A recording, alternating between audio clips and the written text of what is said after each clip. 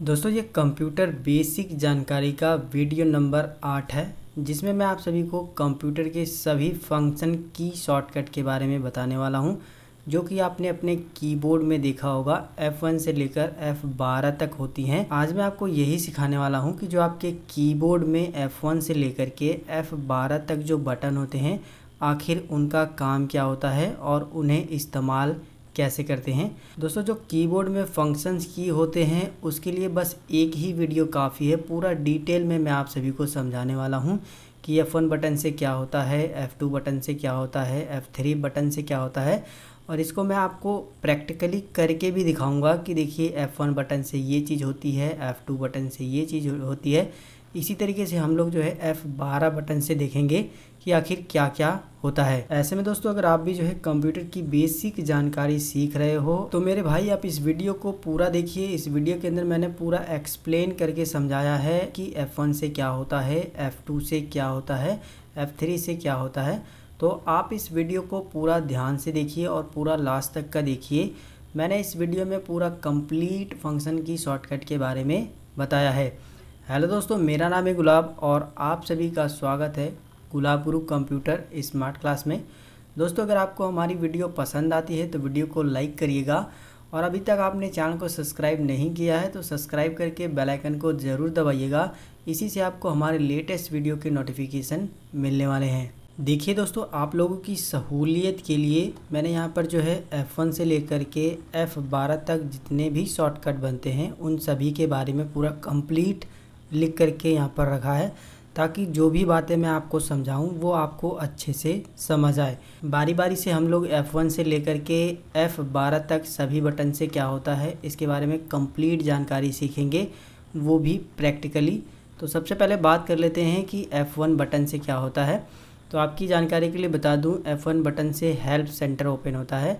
किसी भी सॉफ्टवेयर का help and support center open करने के लिए आपको कीबोर्ड से F1 बटन को इस्तेमाल करना होता है। यहाँ पर मैं आपको एक और जानकारी बता दूँ कि अगर आपको कीबोर्ड के बारे में जानकारी नहीं है तो मैं आपको यहाँ पर बता दूँ कि F1 से लेकर के F12 बटन तक यही होते हैं, जो कि आपको कीबोर्ड पर दिखाई दे रहे हैं। अगर मैं आपको बोलूँगा कि F1 बटन दबाइए तो आपको सिर्फ़ F1 ही बटन दबाना है। अगर मैं आपको बोलूँगा F2 बटन दबाइए तो आपको जो है कीबोर्ड से सिर्फ़ और सिर्फ़ F2 बटन को ही दबाना है। इसी तरीके से अगर मैं बोलूँगा F4 बटन दबाइए तो F4 को बटन को दबाना है। लेकिन जब मैं बोलूँगा अल्ट के साथ जो है F4 बटन दबाइए तो आपको जो है, देखिए, यहाँ पर एक ये अल्ट बटन है और एक यहाँ पर ये अल्ट बटन है। दोनों में से आप किसी भी बटन को दबा के रखना है और इसके बाद F4 बटन दबाना है। अगर मैं बोलूँगा कि आप जो है कंट्रोल के साथ F5 बटन दबाइए तो आपको कंट्रोल बटन दबा के रखना है। इसके बाद जो है F5 बटन दबाना है। तो यहाँ से आपको क्लियर हो गया होगा कि कब कौन सा बटन आपको दबाना है। अगर मैं बोलूँगा सिंगल सिर्फ़ कि F1 बटन दबाइए तो आपको F1 बटन ही दबाना है। अगर मैं बोलूँगा कि विंडोज़ के साथ या फिर अल्ट के साथ या फिर कंट्रोल के साथ F1 बटन दबाइए तो आपको उसको दबा के रखना है। इसके बाद इसको दबाना है। चलिए बीच बीच में मैं आपको सभी को ये सब चीज़ें सिखाता रहूँगा।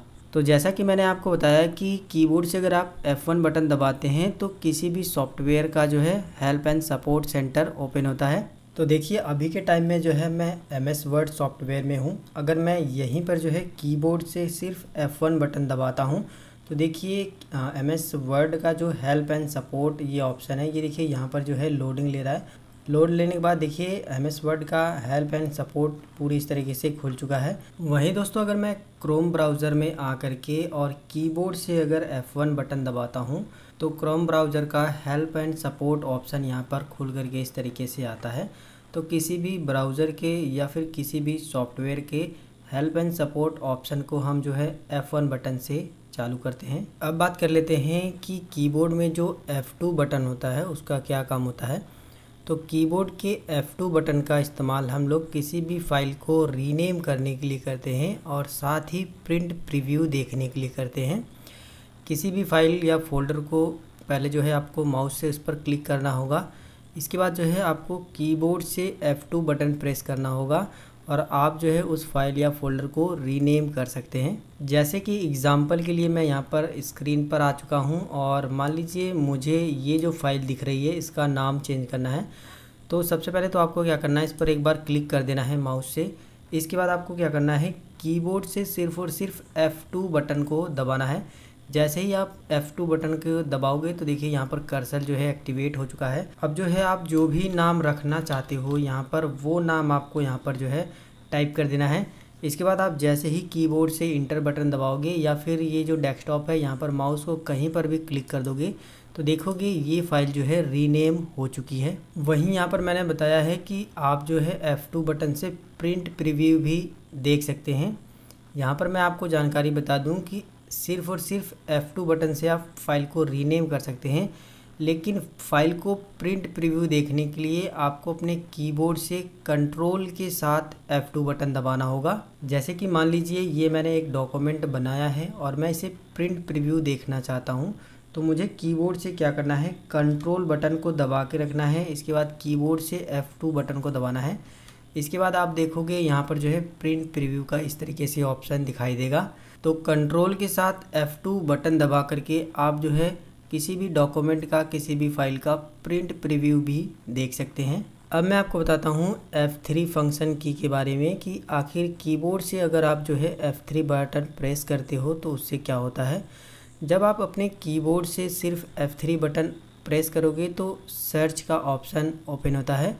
कंप्यूटर में या फिर जो है इंटरनेट पर किसी भी जगह F3 की को प्रेस करने से सर्च का ऑप्शन ओपन होता है। इस समय हम लोग जो है क्रोम ब्राउज़र पे हैं और यहाँ पर मैंने एक वेबसाइट ओपन किया है। जैसे ही आप कोई भी ब्राउज़र में कोई भी वेबसाइट पर जाते हो और वहाँ पर जो है आप कीबोर्ड से F3 बटन प्रेस करोगे तो आप ऊपर की साइड में देखोगे यहाँ पर एक सर्च का ऑप्शन आ जाएगा। और यहाँ पर जो भी आप कीवर्ड जो भी टेक्स्ट टाइप करोगे उससे मिलते जुलते यहाँ पर टेक्स्ट नीचे की साइड में जो है हाईलाइट हो जाएँगे। यानी इस पोस्ट में इससे मिलते जुलते जितने भी टेक्स्ट होंगे, वो इस तरीके से हाईलाइट हो जाएँगे। साथ ही जो है जितने टेक्स्ट होंगे, उसकी यहाँ पर संख्या भी दिखाएगा। वहीं अगर आप जो है अपने फ़ाइल एक्सप्लोरर में, यानी कि दिस पीसी में जा कर के यहाँ पर जो है F3 बटन दबाते हो तो देखोगे यहाँ पर आपका जो सर्च बार का जो कर्सर है, वो एक्टिव हो चुका है। और यहाँ पर आप जो जो भी टाइप करके उसको सर्च करोगे तो उससे रिलेटेड जितने भी फोल्डर होंगे, वो इस तरीके से ओपन हो जाएँगे। वहीं दोस्तों F3 बटन का एक और कमाल का काम है, जो कि आपको शिफ्ट के साथ F3 बटन दबाना होता है। जैसे कि फॉर एग्ज़ाम्पल के लिए ये मैंने एक डॉक्यूमेंट तैयार किया है, और मैं इसे जैसे ही सेलेक्ट कर लेता हूँ, इसके बाद मैं कीबोर्ड से शिफ्ट के साथ F3 बटन दबाऊँगा। तो देखोगे सारे के सारे लेटर कैपिटल लेटर में हो चुके हैं। अगर आप इन्हें दोबारा से स्मॉल लेटर में कन्वर्ट करना चाहो तो शिफ्ट के साथ F3 बटन जब आप दबाओगे तो दोबारा से स्मॉल लेटर में हो जाएँगे। यानी कि शिफ्ट के साथ अगर आप F3 बटन दबाते हो तो आप जो है अपने टेक्स्ट का लोअर केस और अपर केस चेंज कर सकते हो शॉर्टकट से। दोस्तों, अब बात कर लेते हैं F4 फ़ंक्शन की के बारे में। तो F4 बटन से आप जो है, अगर आप माइक्रोसॉफ्ट का एज ब्राउज़र इस्तेमाल करते हो तो आप जो है डायरेक्ट इसकी सर्च बार में F4 बटन दबा करके जा सकते हो। जैसे कि मैं यहाँ पर आ गया हूँ और कीबोर्ड से मैं जैसे ही F4 बटन दबाऊँगा तो देखोगे हम लोग इस ब्राउज़र के सर्च ब्राउज़र में आ गए हैं और यहाँ पर हम लोग जो है कुछ भी सर्च कर सकते हैं। और वहीं दोस्तों, अगर आप अल्ट के साथ जो है F4 बटन दबाते हो तो आप जो है अपने कंप्यूटर को शट डाउन भी कर सकते हो और साथ साथ क्लोज विंडो भी कर सकते हो। जैसे कि मैं देखिए ये माइक्रोसॉफ्ट एज की जो विंडो खुली है, यहाँ पर आने के बाद मैं जो है कीबोर्ड से अल्ट के साथ F4 बटन दबाता हूँ। तो देखिए डायरेक्ट हम जो है माइक्रोसॉफ्ट एज से जो है बाहर आ गए हैं। वहीं दोस्तों अगर आप जो है डेस्कटॉप पर आने के बाद अपने कीबोर्ड से अल्ट बटन दबा करके F4 बटन दबाते हो तो आप देखोगे कि हमारे सामने जो है शट डाउन की विंडो आ गई है और यहाँ से आप जो है अपने कंप्यूटर को स्विच कर सकते हो साइन आउट कर सकते हो स्लीप मोड में डाल सकते हो शट डाउन कर सकते हो और रीस्टार्ट भी कर सकते हो। तो दोस्तों F4 बटन के द्वारा हम लोग माइक्रोसॉफ्ट एज का सर्च बार ओपन कर सकते हैं और अगर अल्ट के साथ F4 बटन दबाएँ तो शट डाउन भी कर सकते हैं और किसी विंडो को डायरेक्ट क्लोज भी, यानी बंद भी कर सकते हैं। दोस्तों, अब बात कर लेते हैं F5 फ़ंक्शन की के बारे में। तो F5 फ़ंक्शन की का बटन ज़्यादातर हम लोग जो है रिफ़्रेश करने के लिए करते हैं और किसी भी फ़ाइल को या फिर इंटरनेट ब्राउज़र को रीलोड करने के लिए करते हैं। जैसे कि फॉर एग्जांपल मैं डेस्कटॉप पर आ गया हूँ और नॉर्मली हम लोग जो है इस तरीके से रिफ्रेश करते हैं। लेकिन दोस्तों, अगर आप जो है अपने कीबोर्ड से F5 बटन दबाते हो तो देखोगे कि आपके कंप्यूटर यहाँ पर जो है रिफ्रेश हो रहा है। तो F5 से आप रिफ्रेश कर सकते हो। वहीं दोस्तों, किसी भी ब्राउज़र को रीलोड करने के लिए भी F5 बटन का इस्तेमाल किया जाता है। जैसे कि देख सकते हो, हम लोग इस वेबसाइट पर हैं और इस वेबसाइट को हमें रीलोड करना है। तो हम कीबोर्ड से F5 बटन दबाएँगे तो ये देखोगे, ये वेबसाइट दोबारा से रीलोड हो चुकी है। इसी तरीके से आप कोई भी वेबसाइट को रीलोड कर सकते हो, या फिर कोई भी ब्राउज़र को आप रीलोड करोगे, देखिए ये रीलोड हो रहा है, ठीक है? तो F5 से किसी भी इंटरनेट के ब्राउज़र को रीलोड कर सकते हो साथ साथ जो है अपने कंप्यूटर को रिफ्रेश भी कर सकते हो। वहीं दोस्तों, अगर आप एम एस वर्ड में आकर के कीबोर्ड से F5 बटन दबा देते हो तो यहाँ पर देखोगे आप जो है फाइंड रिप्लेस और गो टू का ये डायलॉग बॉक्स इस तरीके से आ जाता है। वहीं दोस्तों F5 से एक और काम होता है कि जब आप पावर पॉइंट में स्लाइड बनाते हो तो F5 से उन स्लाइड को आप जो है रन करा सकते हो। अब बात कर लेते हैं दोस्तों F6 फ़ंक्शन की के बारे में। तो F6 फ़ंक्शन की से आप जो है एम एस डॉस में फ़ाइल को सेव कर सकते हो और साथ ही साथ जो है इस फ़ंक्शन की से किसी भी ब्राउज़र में यूज़ करने से कर्सल जो है सीधा एड्रेस बार में कर्सल चला जाता है। जैसे कि देखिए, अभी हम लोग जो है इस वेबसाइट पर हैं, यानी क्रोम ब्राउज़र में हमने ये वेबसाइट ओपन की है। और जैसे ही मैं कीबोर्ड से F6 बटन दबाऊँगा तो देखोगे यहाँ पर हमारा नीले कलर में यहाँ पर कर्सल हाईलाइट हो गया है। और यहाँ पर अगर हम कुछ दूसरा भी टाइप करना चाहें तो टाइप करके सर्च कर सकते हैं।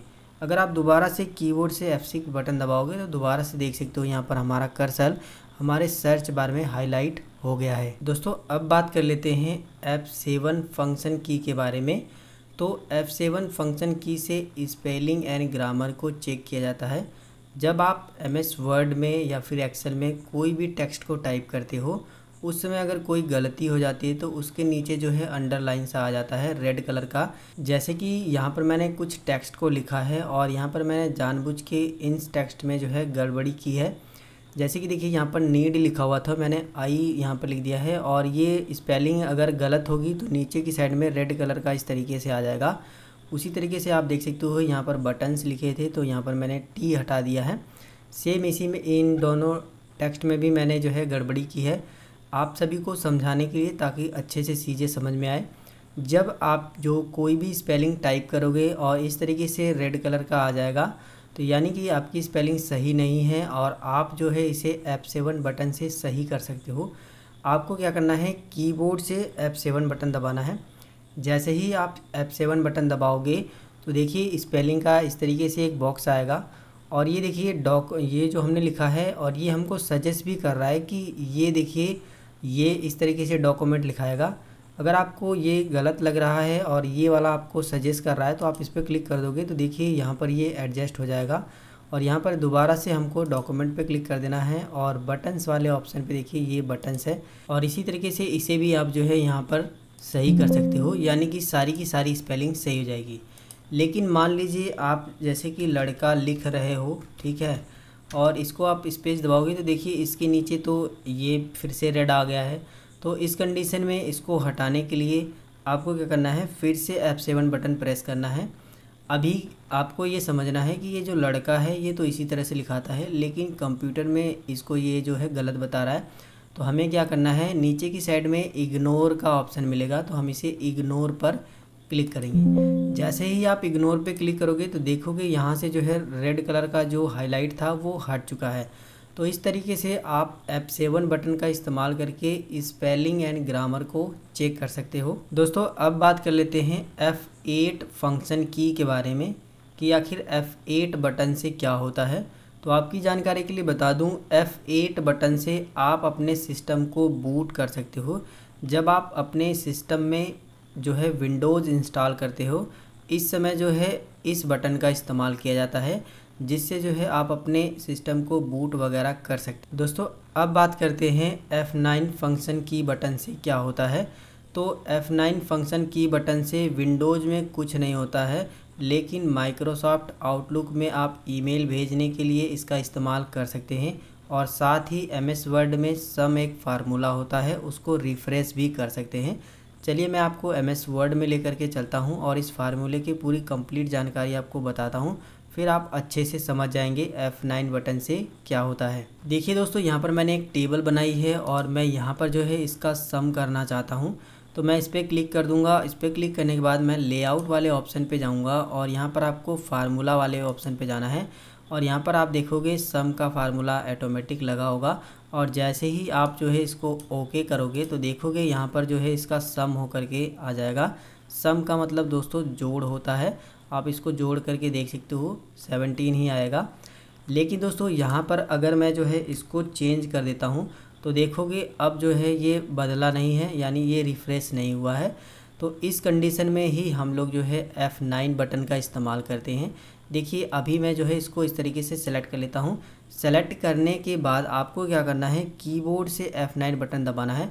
देखिए, मैं जैसे ही कीबोर्ड से F9 बटन बटन मैंने दबाया तो ये देखिए, अब जो है ये रिफ्रेश हो चुका है। अब इसको आप जोड़ करके देख लीजिए, इतना ही आएगा।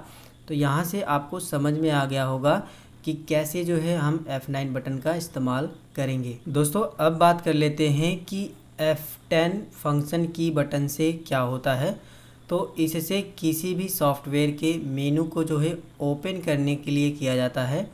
इसे प्रेस करने से मेनू सेलेक्ट हो जाते हैं और आप एरो कीज़ की मदद से उसे खोल सकते हैं।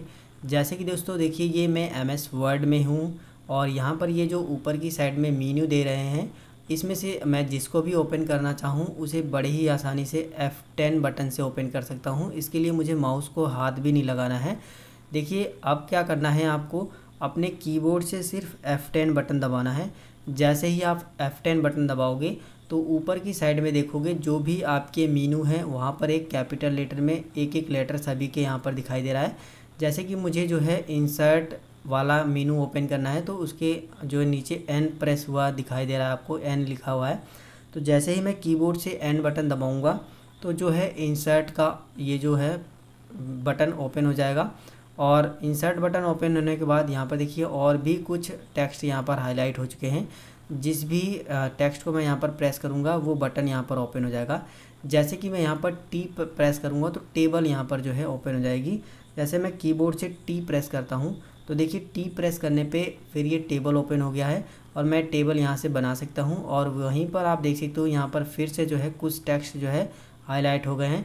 यानी अगर आप इन बटन्स का भी इस्तेमाल करना चाहो तो आपको ये वाले टेक्स्ट क्लिक करने होंगे, यानी प्रेस करने होंगे। तो दोस्तों, इस तरीके से आप जो है किसी भी सॉफ्टवेयर में, चाहे वो एम एस वर्ड हो, चाहे एक्सेल हो, चाहे पावर पॉइंट हो, चाहे आप पेंट वगैरह भी इस्तेमाल कर रहे हो तो आप जो है उसमें F10 बटन से किसी भी मेनू को जो है ओपन कर सकते हो। दोस्तों, अब बात कर लेते हैं F11 फ़ंक्शन की बटन के बारे में।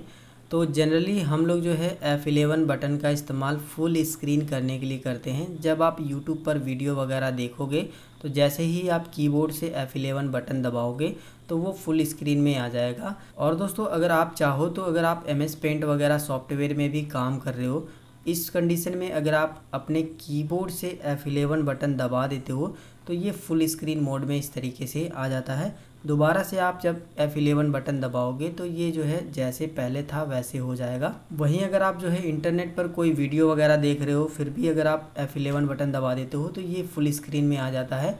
इसके बाद जो है, फिर से ये देखिए, ऊपर की साइड में एक मैसेज आ रहा है कि इसको जो है F11 से ही आप जो है, इसको फिर से उसी कंडीशन में ला सकते हैं। F11 से ही इसको फुल स्क्रीन कर सकते हैं और इस F11 से ही इसको एग्ज़िट भी कर सकते हैं। दोस्तों, अब हम लोग जो है बात कर लेते हैं सबसे लास्ट फ़ंक्शन की के बारे में, यानी F12 फ़ंक्शन की बटन से क्या होता है। तो आपकी जानकारी के लिए बता दूँ F12 फ़ंक्शन की बटन से सेव एज़ का डायलॉग बॉक्स आता है, जिसमें जो है आप अपने डॉक्यूमेंट को दोबारा से सेव कर सकते हो। और साथ में अगर आप जो है कंट्रोल के साथ F12 बटन को एक साथ प्रेस करते हैं तो जो पहले से सेव की गई फ़ाइल है, उसको ओपन भी कर सकते हो। एग्ज़ाम्पल के लिए मैं इस फ़ाइल को जो है सेव एज़ करना चाहता हूँ तो मैं कीबोर्ड से सिर्फ़ F12 बटन दबाऊँगा। तो देखिए, इस तरीके से एक बॉक्स आएगा और आप जो है इसे सेव कर सकते हो।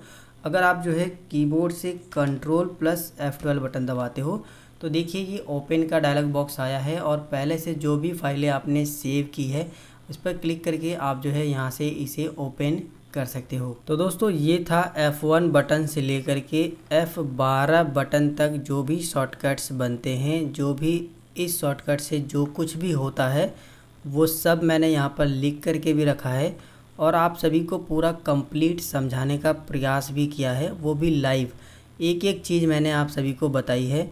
अगर आपको ये वीडियो पसंद आया है तो इस वीडियो को आप लाइक कर दीजिए और अपने दोस्तों के साथ इस वीडियो को ज़रूर शेयर करिए। और चैनल पे अगर नए हो तो सब्सक्राइब कर लेना मेरे भाई। और दोस्तों, ये जो फ़ंक्शन की के शॉर्टकट हैं, इन्हें जो है आप यहाँ से नोट डाउन भी कर सकते हो कि किस फ़ंक्शन की से क्या होता है। अगर आप इसका पीडीएफ चाहते हो तो आप हमें नीचे कमेंट करके ज़रूर बताइए, हम इसका पीडीएफ भी आपको दे देंगे। दोस्तों, अगर आपके मन में कोई सवाल है तो आप हमें नीचे कमेंट करके ज़रूर बताइएगा। अगर वो सवाल छोटा हुआ तो मैं आपको कमेंट बॉक्स में ही जवाब दे दूँगा। अगर वो सवाल बड़ा हुआ तो मैं उस पर वीडियो बना करके आपकी प्रॉब्लम का जो सोल्यूशन है वो बताऊँगा। तो दोस्तों, आप इस वीडियो को लाइक ज़रूर से कर दीजिएगा।